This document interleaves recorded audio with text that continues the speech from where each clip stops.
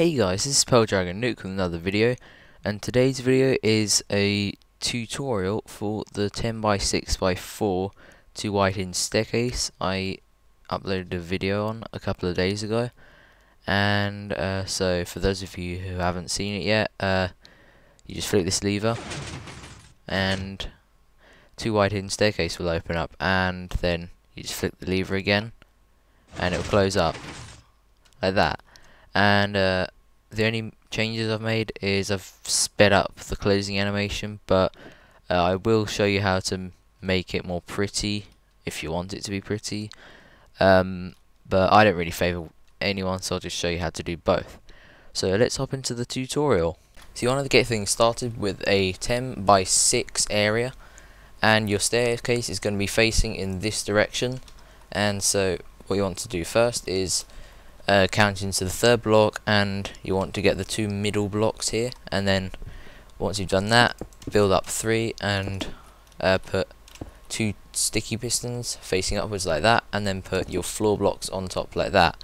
Then put blocks like here so four of them and put two regular pistons there knock out those blocks and then do the same thing on the other side like that and then your stairs are going to go here.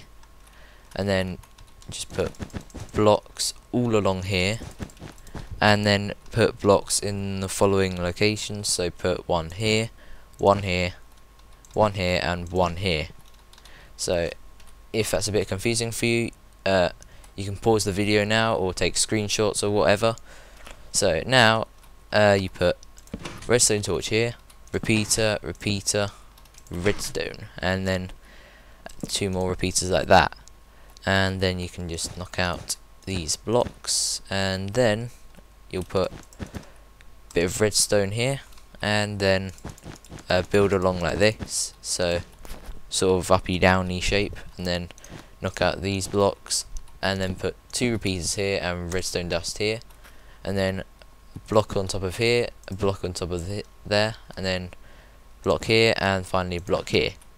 And then put three repeaters all on four ticks like that. And this is going to be your input block. And so put two blocks here and one block here. Redstone there and then two repeaters both on four ticks so that's our primary block swapper done. So if we just test it it will work. So there you go so then just put it back into the, that position, so the hidden position when you're done, and move on to the next step.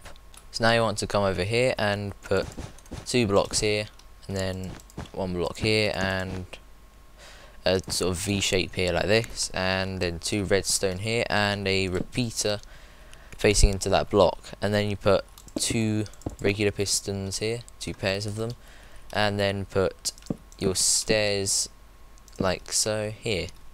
And then on this side you want to put two blocks here repeater here redstone here block torch and then two blocks here and redstone. And then put your pistons like this so one side of that torch and put six more sticky pistons facing upwards like that and put your floor blocks on top of them like that so then you want to come down to the side here and put a block with a two tick repeater on it. And then put block here torch block block block and then redstone. And then put three sticky pistons like that. And then on the other side you want to put two blocks here and two repeaters. Set one to four ticks and the other to three ticks. And then put a block here torch block block, block, and then redstone again. And then just put your three sticky pistons like that. And there we go. Now finally for the orange circuit. Now finally you want to put block here and a repeater there and then come under here put two blocks here redstone dust along those blocks and then two blocks on the ends like that and torches on the outer sides like that. And then here you want to put six blocks on the bottom of these pistons like that. And then here uh, you want to put block here repeater heading into a block. And uh, this has to be a block. It can't be redstone because otherwise this repeater will interfere with it. So has to be a block and then just put blocks all along here and put one tick repeaters in there like so.